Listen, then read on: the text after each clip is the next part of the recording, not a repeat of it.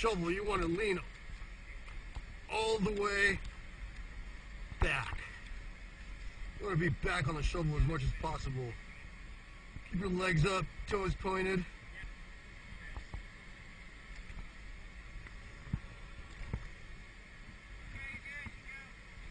And here we go. You want to get a good hard push. And then just keep it steady. Lean back. Make minor adjustments